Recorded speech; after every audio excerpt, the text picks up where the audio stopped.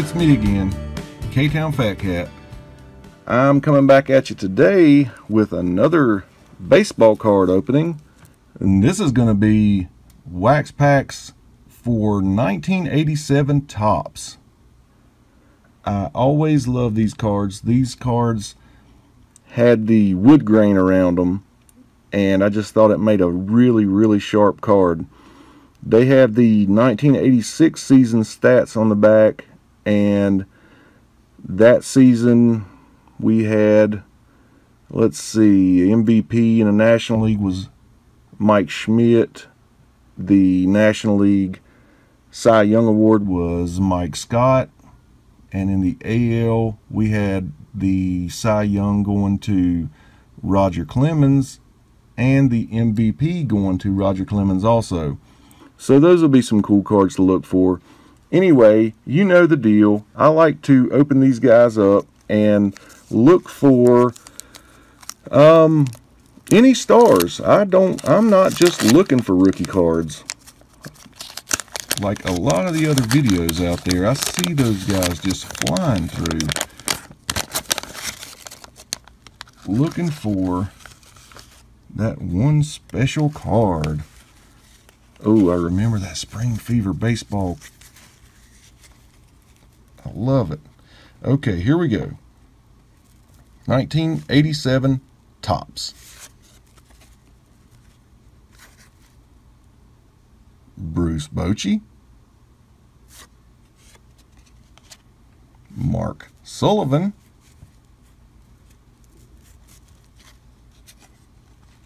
Neil Allen. Ruben Sierra. Ruben Sierra was a super player for the uh, Rangers when he was younger. And I do believe Ruben is one of the few people who can actually say they were robbed out of an MVP award. Um, let's see, this is his rookie card here. So, yeah pretty sweet rookie stats there. 16 homers, 55 RBIs, 10 triples. Very sweet. Anyway, he's in the American League. They went through a little run where they were given like MVPs out that felt like they were kind of giving them to older guys. You had like a run where Rickey Henderson, Cal Ripken Jr., and Robin Yount got the uh, MVPs, and um, they did have good seasons, but there were some other guys who, who probably should have been in the mix. And one of those years, Ruben Sierra should have won an MVP award. Let's see, Doug Sisk, Randy O'Neal, Steve Yeager, Oddibe McDowell, Lee Guetterman,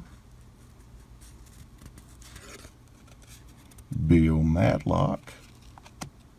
Gotta like a Bill Madlock card. Four-time National League batting champ. Let's see here. So Bill won in 75 and 76 with the Cubs, and then he won in 81 and 83 with the Pirates. At this point, he had a 307 lifetime batting average and 1900 hits. But yeah, four-time batting champ. Steve Sax. He was a solid, solid player. He had over 200 hits in a season. And this is a stolen bases. He had 40 steals this year. The leader was uh, Vince Coleman with 107. Carl Willis. Carney Lansford. I think Carney won two batting titles himself. Let's see here. Yeah, he won in 81 with the Red Sox.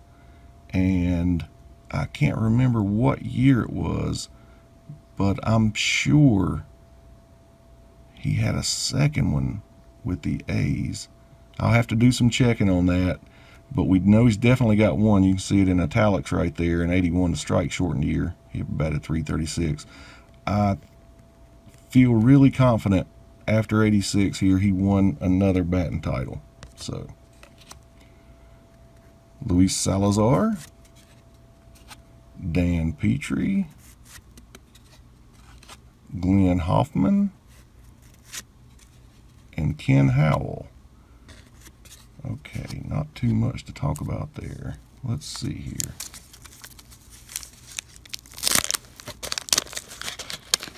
Well, I'm just going to tell you right now, I've, I've had enough. I'm going through these packs and having these walks down memory lane, and darn it, I've got to try this gum.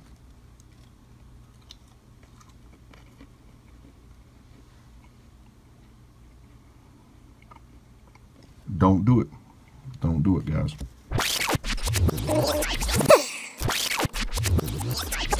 Okay, guys, sorry about that. Mm, it's a pretty rotten taste, but it wasn't anything that some good southern sweet tea wouldn't take away. Okay, here we go.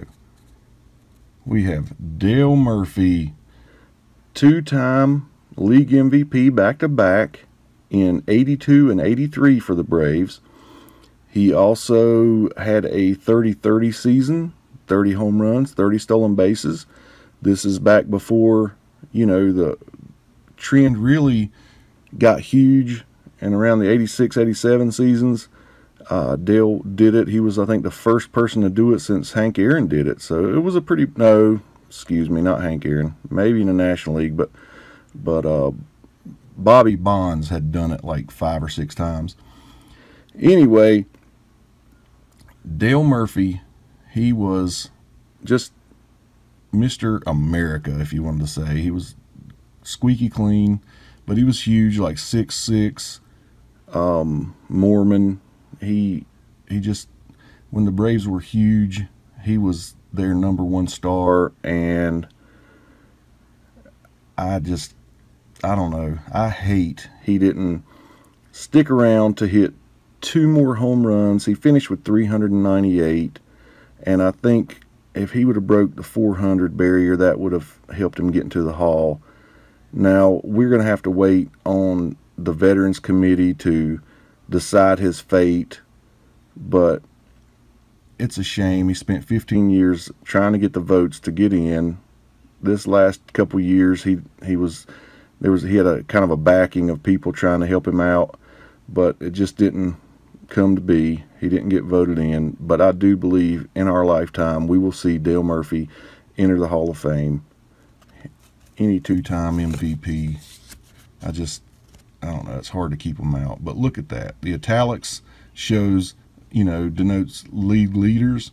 So if you look over on the left, look at that. He had a uh, string of consecutive games played that I think broke 700, and that was a pretty big deal. And you'll see how consistent he was. His, home runs there he had, uh, what, 33 and 80. Then he had the strike shortened year. He had 13. And then 36, 36, 36, then 37. Then he had 29. He had a little off year, but the next year he comes back in 87, hits 44. I mean, just, I don't know, great, great ball player. And uh, he was just huge. And I, when I was a kid, and maybe that's why Maybe that's why I care so much about him getting into the Hall of Fame. But you'll see there in 83, he had 36 homers, 30 stolen bases. Led league in slugging two years in a row. Dale Murphy, Hall of Fame. Glenn Davis. I spoke about Glenn when I opened the Fleer cards in, in the uh, previous video. And I said he'd get you about 30 home runs a year. Let's see. Yep. There is a start. 31 homers, 101 runs batted in. Jim Pankovits. Mike Young. Roger McDowell. Chris Codiroli. I don't know if you're about my age, man, and as I go through these, I know you're going, oh, I remember all these pictures so well. Now, this is John Tudor. The year before this, so like I said, this has the 86 stats. In 85, John Tudor won 21 games. He had a sub 2 ERA. I think it was like 1.93 or something like that. But anyway, he had 10 shutouts. And he's the last major leaguer to reach that milestone. Let's look here. Yeah, he was 21 and 8, 169 strikeouts, 14 complete games, 10 shutouts. And there's that 1.93 ERA. 10 shutouts. And I think prior to him, the last person to have 10 would have been Jim Palmer, I believe. Pretty sure I'm right on that. I know Palmer had 10, and I believe that he was the last person before Tudor. He came in second to Cy Young, to Dwight Gooden in the Cy Young voting in 85. Dan Bilardello, Jay Tibbs, Michael Jack Schmidt,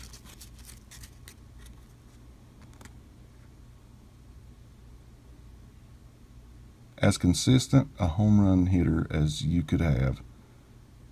Mike Schmidt hit 30 home runs in one season, 13 times in his career. And in the 70s, I, I know it was like he hit 38 exactly, like three years in a row. Three time National League MVP. He won back to back in 80, 81, and then this season with 86. Just unbelievable. Finished with 548. Barry Larkin. I'm pretty sure this is a Barry Larkin rookie card. And he's in the Hall of Fame now. Yes, it is. Barry Larkin rookie card. Check him out. He was just a solid, solid player. Um, don't know much about his stats. I just I was never a huge fan, but I know he finished with over 2,000 hits and 200 home runs. And anyway, he's a Hall of Famer. Dennis Eckersley. Now this is when he was still a starting pitcher with the Cubs. He's he and uh, let's see, John Smoltz. They're the only two pitchers that I remember who were. I mean, Kerry Wood you could throw in there a little bit, but Dennis Eckersley went from being one of the best starting pitchers to one of the best relief pitchers, as did John Smoltz. Let's see what what I can remember about Eckersley. I know he had 20 wins in a season. He had 200 strikeouts in a season. I want to say he has a ERA title when he was a starter, maybe. And then when he went on to the A's after he was traded from the Cubs, he ended up winning a Cy Young and MVP award in the same year. He finished with like 390 saves, over 200 wins, over 2,000 strikeouts. Let's see here. Okay, I was wrong about the ERA title by far. But there's the 20 wins in 78. In 76, he had 200 strikeouts. But as you'll see, as all, all these games as a starter, you know, he had 151 here. So he would have needed 49 more to get the 200 wins. I'm going to say he got there to 200 wins. He definitely broke 2,000 strikeouts. And look, 20 shutouts in his career. He's he's a Hall of Famer. He's in there. I just I wish there was more of an action shot of him here pitching. He had like a almost submarine style pitching as like a three quarter side Joel Skinner, Dodgers leader. Ron Karkovice, and Gary Matthews. Well, Gary Matthews had over 2,000 hits in his career. Let's see. 1972, as far as this goes, 1,070 runs, 231 homers, 955 runs batted in. When I used to go through these cards, that's pretty much what I would I would turn it over. I'd see how many hits and runs they had, and usually guys with a thousand runs and a thousand runs batted in, you know, would catch my eye. The 2,000 hits. If they had 250 home runs or more, I would notice that. But um, then I would start looking at their individual seasons and start looking for numbers and just I love the stats on the back of cards. I'm sorry.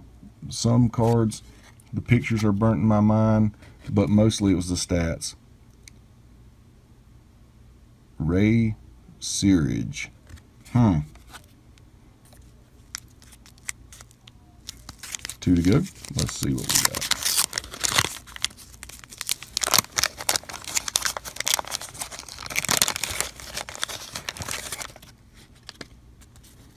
I'm not eating that. So let's go. Okay. Rafael Belliard. Charlie Hough. I loved old Charlie Hough. He ended up taking forever to really come into his own, and then he ended up winning over 200 games and had over 2,000 strikeouts as an old man. Let's see here.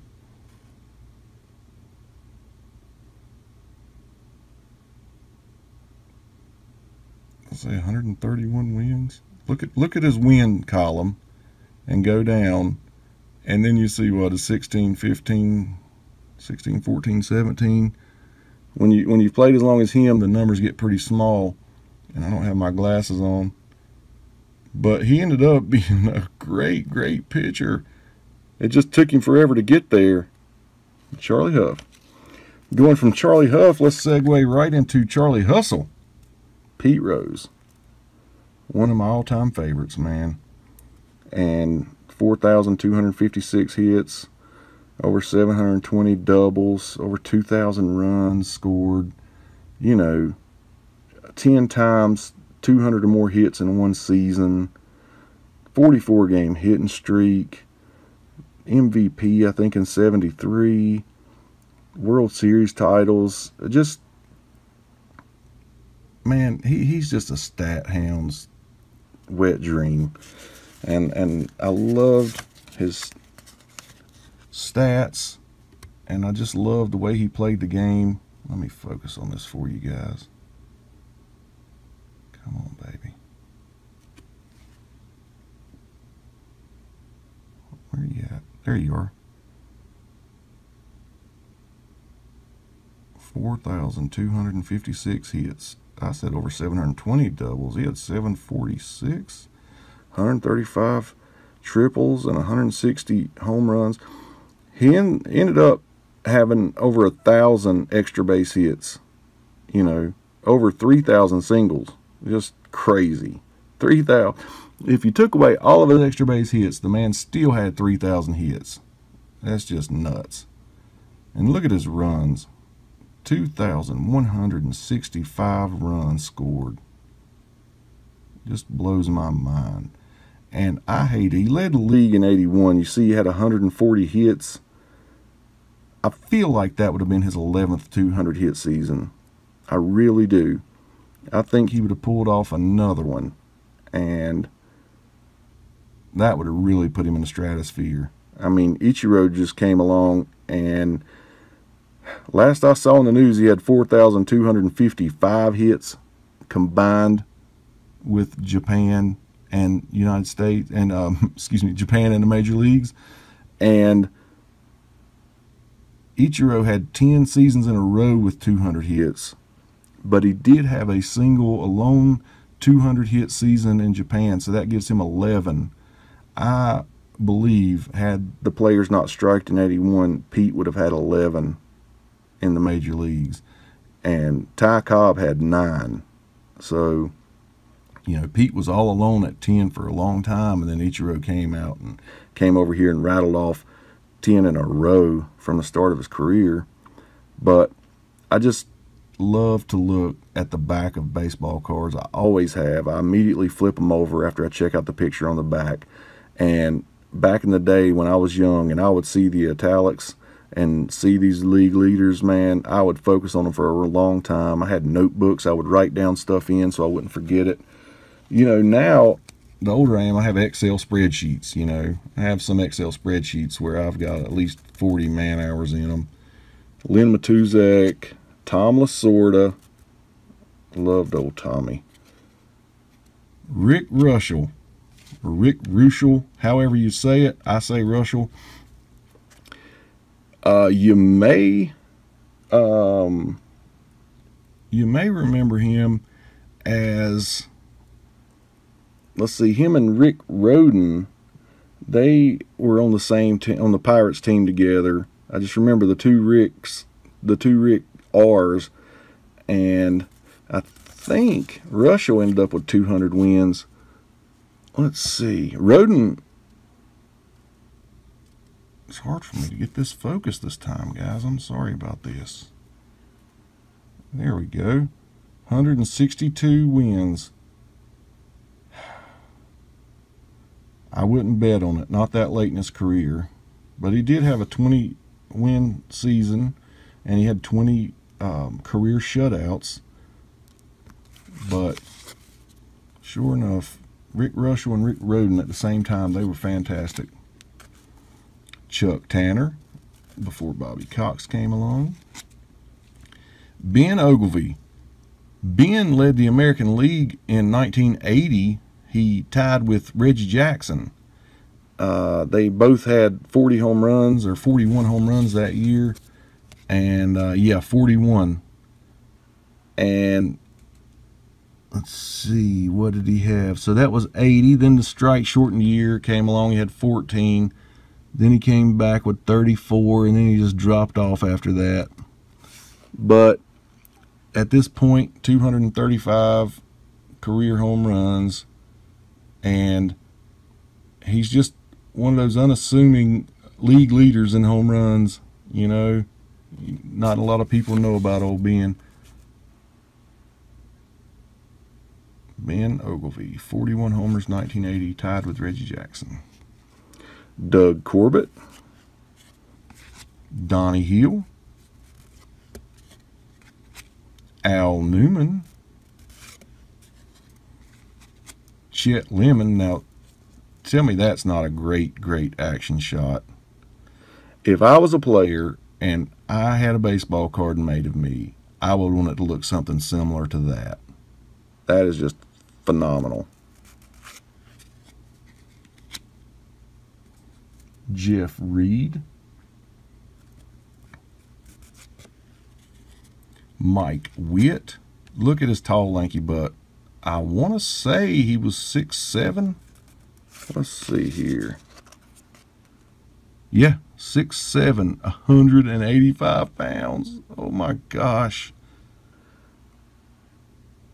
If you had now, in the 21st century, a six foot seven player, he's gonna weigh 250 pounds minimum. But look, 15, 15, 18 as far as wins, and then he had 196, 180, and 208 strikeouts. He was he was a, a good a good pitcher, man. Kind of like a, a version of Randy Johnson, but Randy was 6'10", so just imagine that, three inches taller. Willie Randolph. I used to love Willie Randolph. Jerry Hairston. OMG. The man, Nolan Ryan. Oh, God, that's crazy. Look right over there. Nolan Ryan was my favorite player when I was a kid. I loved the wild, fast, fastball pitchers. Nolan finished his career with uh, 324 wins, 61 shutouts, seven no hitters. I mean, next closest is four. and he had seven. 5,714 strikeouts in a career. And nobody else has 5,000. And I don't know. I don't know what there is left to say. He he pitched so well for so long that now when the steroid era, you know, blew up and everybody was looking at guys going, well, how can they be that good that late in their career?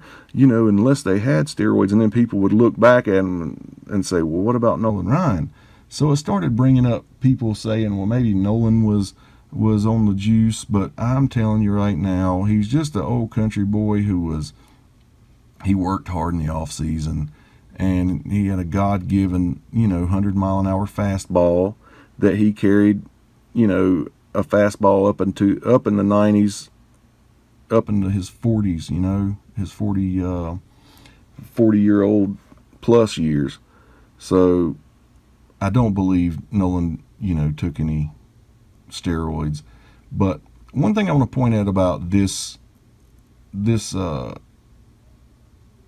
Astros, you know, this year, he's strikeout king by this point. You know, he has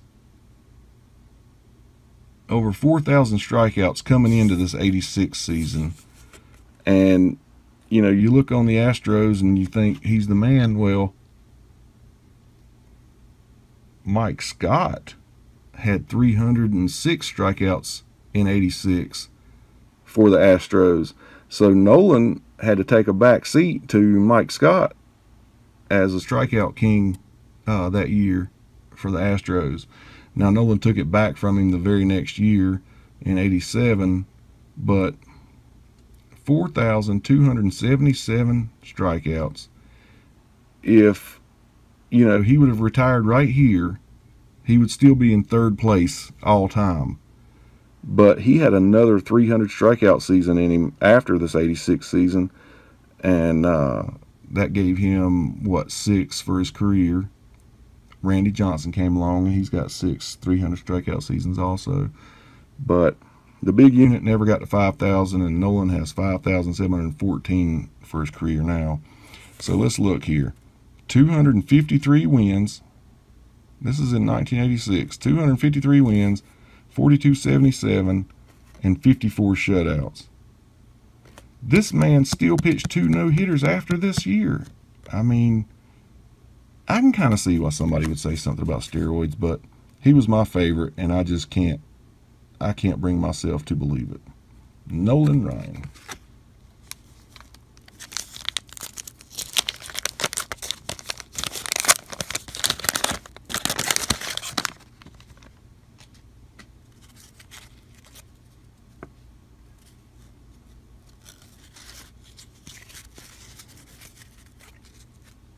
Here we go, last but not least. Dale Sveum. Pedro Guerrero. I used to love Pedro, man. Nobody mentions him anymore, but he was one of the best hitters in the National League in the 80s. 30 home runs, you know, over 100, 100 RBIs. He's going to bat you 300 to 330. Just great player. Let's see what we got here stats wise. Yeah, look at there. 32, 32, 33. Had he led league in slugging. A couple years over 20 stolen bases. 320 batting average. You know, I mean, lifetime 304 hitter at this point. Very cool, man. Nobody really mentions Pedro anymore, but he he was a great, great player, great hitter. Benny DiStefano. I get challenged every time I make one of these videos. Mark Clear. Rick Burleson. Rupert Jones. That's a that's a good picture if you think about it. You see the umpire's hand, Looks like he's holding a strike counter in his hand. Then you see the catcher, catcher's mitt right there. Good profile of catcher. And then a good proof profile of Rupert there batting with his lucky 13 jersey. My man, Don Baylor. Don Baylor, I've told you a couple times, and I'm going to tell you again.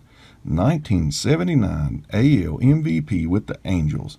36 home runs, 139 RBIs. He went on to play for the Red Sox and the Yankees. Let's see here. And where's he at right here? 315 lifetime homers, 1,179 RBIs. But the glaring season you see, look up his RBI total. his RBI totals for the years. That 139 really jumps out at you. You know. And like I said, Jim Rice was one of my favorite players. He led the league the previous year in 78 with 139 runs batted in also. But Don ended up setting the record for getting hit by a pitch. We've learned that in one of my videos. I did go do some research, and he did break Ron Hunt's record. And then Craig Biggio broke his record. But I wonder if uh, anybody joked at uh, Don like the way he was holding that bat was some kind of, you know, taking a leak innuendo or something. I don't know. But I always wondered that. Like, you know, you know how you could do something serious, I mean silly and put a serious look on your face for a picture? I mean, there could have been buddies around him ribbing him when he was doing that. I don't know. I don't know if he was a joker or not. All I, all I know is the stats. But just he, he was built like a power hitter, and he sure was one. Joe Hesketh, Argenis Salazar, Pete Ladd, Davey Lopes, record breaker. Let's see what they got here. Most stolen bases in a season for a 40 year old. Well, let's just see. He eclipses a 72 year old standard. 25 stolen bases in 86. Let's see. The former record was the 23 swipes compiled by Pirates Hall of Famer Honus Wagner in 1914. Wow. Very cool. Davey Lopes, he led the league with like 77 steals when he was with the Dodgers one year. He he had he could run the base pass, that's for sure. Fernando Valenzuela. Remember Fernando Mania? I actually talk about him in another one of my videos, but you know, what can you say about him? He he just pitched till his arm almost fell out or fell off. he he uh, threw a screwball, which goes against everything you know your shoulder and everything wants to do. Um, it's a wonder he he he didn't buckle before then, but Fernando was going to get you close to 20 wins a year. He was going to get you close to 200 strikeouts a year. He was going to put in about 275 innings a year. You know, he was good for that. But his rookie year, he he was something else. Eight shutouts in a strike shortened year. You know, he led the league in um, strikeouts. He beat Steve Carlton Steve Carlton had 179 strikeouts. Um, he had 180 that year. But look at that. He started 25 games that year. He completed 11. Now look at 86. 20 complete games. Imagine that, guys. Imagine that. He won 21 games that year, 242 strikeouts, 20 complete games, three shutouts. I think he came in second to Mike Scott in Cy Young voting this year. But up here in 81, he did win the Cy Young and the Rookie of the Year that year. Just solid pitcher, man. I, I, I miss people like Fernando Valenzuela. Bobby Bonilla. Wow. Him and Bonds, man. What a tandem they were when they were with the Pirates. Bonilla was going to hit 300 for you. He was going to drive in 100 runs and hit 30 home runs a year. Let's see here. This is his rookie card, unless the Pir- unless he had one. No, that's they're both 86, White Sox and Pirates. Okay, I did not realize he started with the White Sox in 86. I had no idea that because I've always seen this card. So yeah, he went on to play for the Mets. Just a good ball player. He ended up um, at one time he was the better of the two, him and Barry Bonds, uh, when they were on the Pirates. He was one of the highest paid baseball players in baseball at one time, um, and he deserved it. But his career kind of faded away. Frank Tanana. Not a lot of people talk about Frank.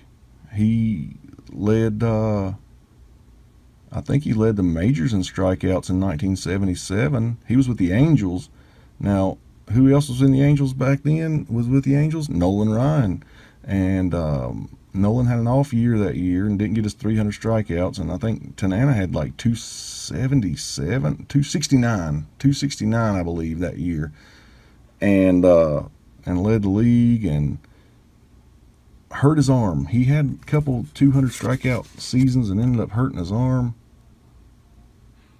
Yeah, 269, 261, 205 but um, he had seven shutouts that one season, ERA title. But he ended up having about 2,500 strikeouts. He's high on the list in career strikeouts. He didn't get 3,000, but he ended up getting, I think, over 2,500, maybe close to 2,700. Something's telling me that 2,700 strikeouts he ended up with. Frank Tanana. Jim Rice, one of my all-time favorite players. He had three years in a row where he had 200 hits, 30 home runs. He he averaged 130 home runs a year. I'm pretty sure. I'm pretty sure I'm right on that. He, he averaged at least 120 runs batted in a year for three year stretch and 77, 78, 79. Oh, we're not going to be able to see it on here, but this is his on base percentage. He had 384 on base percentage right there. Of course, Wade Boggs led with 453 that year. But but Jim Rice, he made it to the Hall of Fame late. He got in after several years on the ballot. I think he was running down to the end like Dale Murphy was, I was telling you about. Anyway, if you're a stats hound like me, go check it out. In the late 70s, no one better. Mitch Williams. Mitch Williams, um, let's see, relief pitcher, blazing fastball, mullet. I think they called him Wild Thing. Like on the movie, um, oh, hell. Major League. Yeah, the Cleveland Indian movie. And uh, Charlie Sheen played Wild Thing. I want to say that was Mitch Williams' nickname when he played. He was going to get you about 30 saves a year. Let's see. And, of course, this would be his rookie card. And his save total is a whopping 8. But here's, I always love these neat facts. You know, May 28th, 1986, Joe Cowley fanned the first seven batters he faced in a game for the White Sox. That's pretty sweet. And Dave Schatz, Schatzeder, Schatzeder. I don't know. I don't know. But if you look in the back back there, I kind of set that up in order of the uh, their strikeout totals. Back then, that was I think maybe Sutton don't belong, but he was a three. He had won 324 games, you know, over 3,000 strikeouts in his career. Let's see here. Right there, he was 295 and 3,300 strikeouts. But ended up, I think, you know, we had Nolan with 57-14. Steve Carlton had like uh, 4,138 or something like that. And Blyleven had 3701. Seaver had 36 40, I believe, something like that.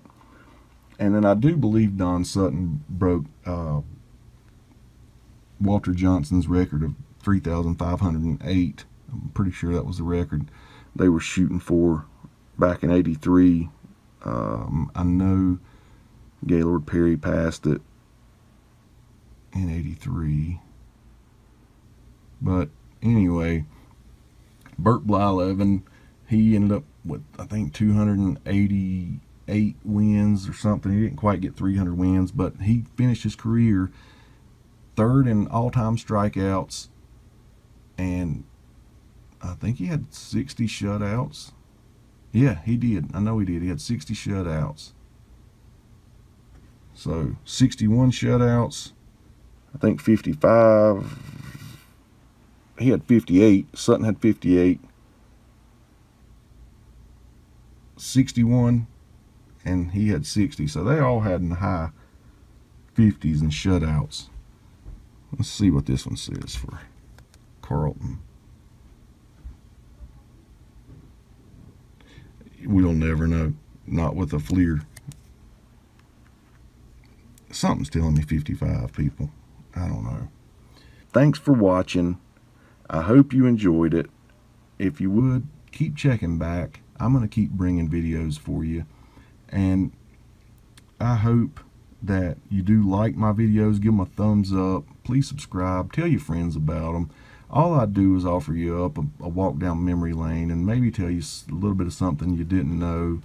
And I know in the comments, you know, people are telling me things I didn't know. I love it. You know, that's that's what I love. I love just talking sports with people. So anyway, until next time, this is the K-Town Fat Cat signing out.